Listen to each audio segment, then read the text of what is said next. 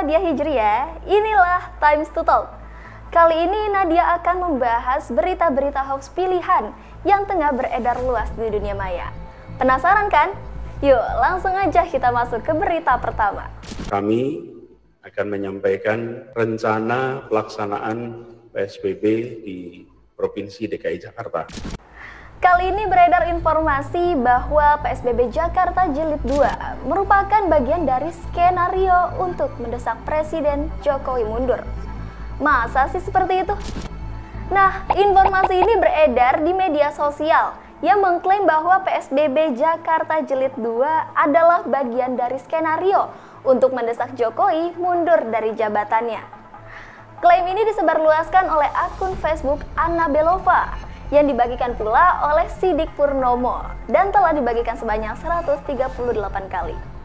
Menurut narasi yang diunggah, dalam kajian intelijen crime, Koalisi Aksi Menyelamatkan Indonesia atau KAMI menginstruksikan kepada Anies untuk melakukan PSBB total agar Jakarta lumpuh sehingga Indonesia masuk jurang resesi pada Oktober 2020. Wah, ngeri juga ya informasinya. Yuk, langsung aja kita cek narasinya. Anies dapat instruksi dari kami agar lakukan PSBB total beberapa bulan ke depan. Tujuannya perekonomian Jakarta lumpuh sehingga Indonesia mengalami resesi pada Oktober 2020. Dikarenakan tidak adanya pekerjaan, pendapatan cash dan juga tabungan berakibat pada kemiskinan yang menjadi-jadi di DKI, sehingga bisa memicu demo dan penjarahan. Bila terjadi resesi, kami dan antek-antek kadrun akan memprovokasi rakyat untuk menurunkan Jokowi karena dianggap gagal menyelamatkan rakyat. Informasi tersebut merupakan hoax karena berdasarkan penelusuran tim cek fakta Times Indonesia, PSBB Jakarta Jilid 2 adalah skenario untuk mendesak Jokowi mundur adalah dua hal yang tidak berkaitan nih. Dikutip dari konferensi pers Anies Baswedan pada Minggu 13 September 2020, pemerintah Provinsi DKI Jakarta memberlakukan kembali PSBB untuk menurunkan jumlah kasus COVID-19 dan juga untuk menghindari kolapsnya layanan kesehatan. Penerapan PSBB tersebut dibuat berdasarkan data indikator pantau pandemi serta masukan dari para ahli epidemiologi.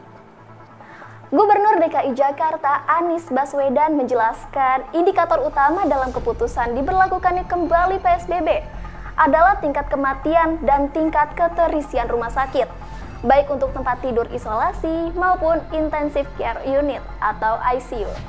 Dengan semakin tingginya kasus harian COVID-19 di Jakarta pun menunjukkan bahwa Jakarta berada dalam kondisi darurat Penerapan kembali PSBB ini pun didukung oleh sejumlah pihak. Dilansir dari Times Indonesia, Ketua Umum Palang Merah Indonesia PMI Yusuf Kala menilai PSBB yang diberlakukan oleh Pemprov DKI mulai 14 September 2020 adalah suatu keharusan. Sebab PSBB transisi terbukti gak bisa nurunin COVID-19 di ibu kota serta berdasarkan konfirmasi dari Times Indonesia ke Din Syamsuddin, Presidium kami, mengatakan bahwa saya tidak mendalami hal tersebut dan juga jelas itu adalah analisa politik yang berisi fitnah. Itu cara pikir yang sesat karena tidak mau melihat masalah yang ada dan sering lari dari masalah dan melarikan masalah sehingga mereka akan terjerat dalam masalah. Teman-teman, yuk kita masuk berita kedua ada isu yang menyebutkan bahwa sebuah pesantren Al-Quran terbakar yang menyebabkan 28 santri dan guru meninggal dunia. Hah? Bener gak sih? Isu ini beredar di media sosial Facebook dari akun Maura Smithwan yang membagikan ulang sebuah artikel milik ratunews.ikhtisar.net yang berjudul Breaking News Pesantren Al-Quran terbakar, 28 santri dan guru meninggal dunia Semoga yang gugur dalam pesantren tersebut husnul khotimah pada 12 September 2020. Artikel tersebut merupakan hoax karena berdasarkan penelusuran tim cek fakta Times Indonesia terkait artikel yang diterbitkan oleh ratunews.ihtisar.net. Informasi yang terdapat di dalamnya merupakan gabungan dari dua peristiwa yang berbeda dan terjadi bukan dalam waktu dekat ini. Sementara penggunaan istilah breaking news atau berita sela dapat menggiring opini pembaca bahwa artikel ini adalah peristiwa yang baru saja terjadi. Diketahui bahwa isi pemberitaan pada artikel merupakan dua peristiwa kebakaran yang terjadi di tahun 2017 dan 2019.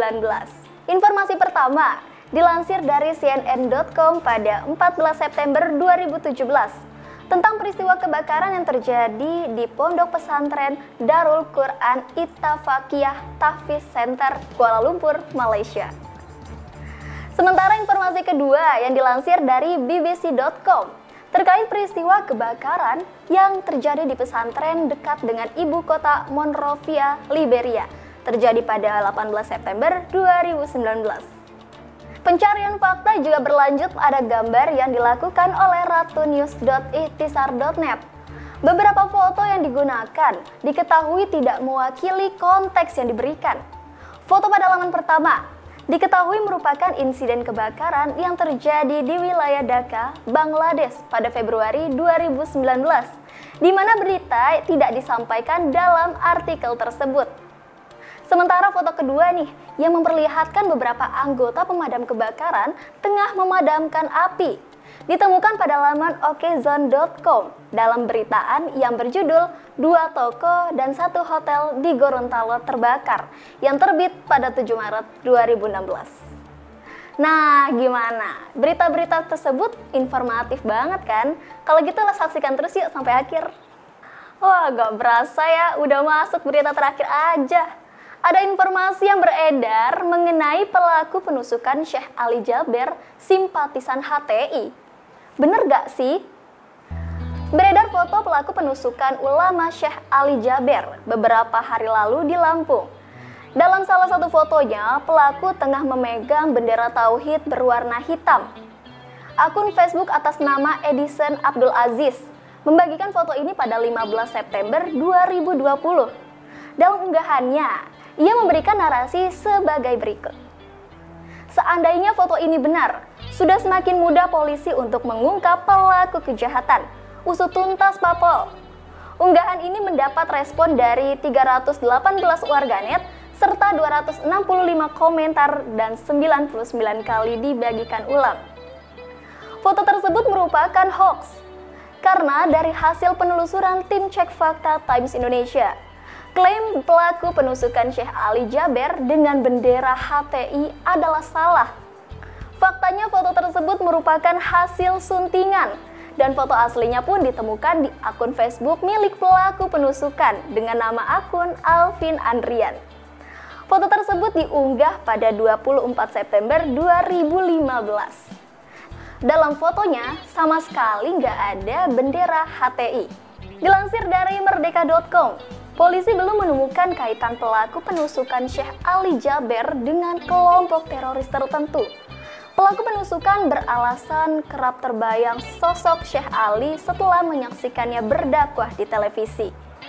Kabis Humas Polda Lampung Kombes Zahwani Pandra Arsyad mengatakan, penyidik masih mendalami motif tindakan pelaku. Demikian berita-berita hoax pilihan yang Nadia sampaikan. Teman-teman, jangan lupa ya untuk mendukung channel ini dengan klik like, komen, dan subscribe. Dan jangan lupa nih untuk klik lonceng di bawah ini agar teman-teman gak tertinggal informasi yang Nadia berikan.